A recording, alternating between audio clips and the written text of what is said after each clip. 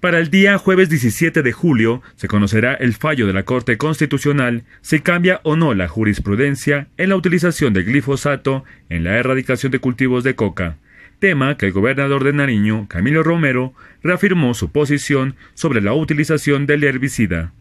Bastaría con la duda del daño que causa el glifosato para que un gobierno sensato se abstenga de usarlo. Pero aquí tenemos justo lo contrario.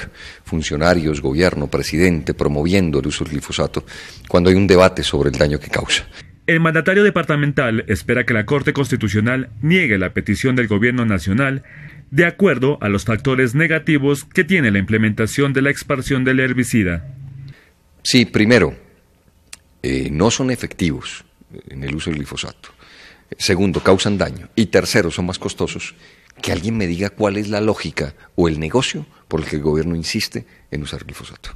Romero aseguró que una vez se conozca la decisión de la Corte, se estudiarán las estrategias para acabar con los cultivos ilícitos, foco de la violencia que afronta el departamento de Nariño.